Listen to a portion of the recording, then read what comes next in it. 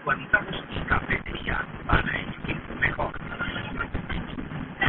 En Montijo Cafetería Silos 2 y 4 en pleno centro y en la avenida de Colón, Cafetería Restaurante Silos 3.